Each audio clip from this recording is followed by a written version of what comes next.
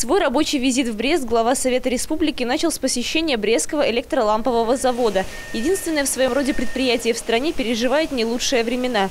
По мнению Михаила Мясниковича, во многом это связано с тем, что до сих пор оно не имеет конкретной стратегии развития.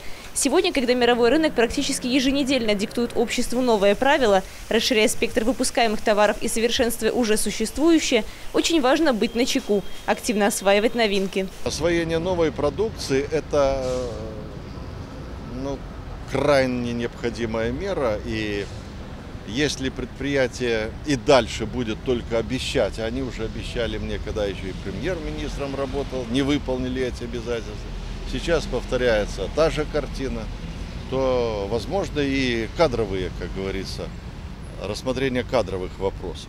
В плане рабочего визита председателя Совета Республики еще один производственный гигант. Открытое акционерное общество «Ковры Бреста» свой первый продукт выпустило в далеких 60-х годах прошлого столетия, с каждым годом набирая производственные обороты.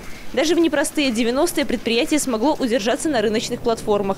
Сложности возникли в начале 2000-х. Дефицит оборотных средств, убытки привели акционерное общество в 2014 году к крайней мере – объявлений о банкротстве, после чего начался процесс санации. Сегодня, по мнению Михаила Мясниковича, свет в конце тоннеля появился. Поэтому очень важно именно сейчас принять нужные меры, для того, чтобы предприятие смогло уверенно вернуться в рейтинг успешных. Мы тщательно рассматривали финансовые потоки, а как будет потом? Банки пошли навстречу, наши коммерческие банки пошли навстречу предприятию, реструктуризировали задолженность. И это позволяет в определенной степени предприятию функционировать. Но очень много еще различного рода издержек в производстве, в обращении, которые бы улучшили экономику предприятия за счет снижения себестоимости. Предприятие Ковры Бреста увеличивает объемы производства, ну и некий свет, как говорят в конце тоннеля, он виден. Э, не беспроблемно, но если таким образом будет продолжаться тренд вот такой, значит мы можем говорить о том, что к концу Э, санкционного периода предприятием сможет стать уже на ноги. На сегодняшний день мы преодолели вот не сезонье, скажем так, потому что ковры это сезонная продукция.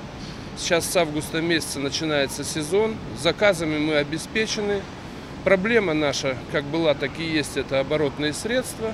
Но сегодня более-менее мы и с этим справляемся. То есть Работаем мы конкретно, на склад мы не нарабатываем, работаем конкретно на, на покупателя. Структура складских запасов значительно изменилась, то есть сегодня у нас на складе вся продукция, это где-то порядка 180 тысяч метров квадратных у нас на складе сейчас, и вся продукция будет реализована практически на 100%. На предприятии и сегодня многолюдно. В цехах в руках опытных мастеров, отдавших работе в акционерном обществе не один десяток лет, продолжают появляться на свет новые ковровые решения. Стоим директором хорошо, зарплата вовремя. Хорошо, работаем каждый день. Анастасия Ноздрин, Плотницкая, Андрей Щерба, Дмитрий Лазарчук, телекомпания «Бук-ТВ».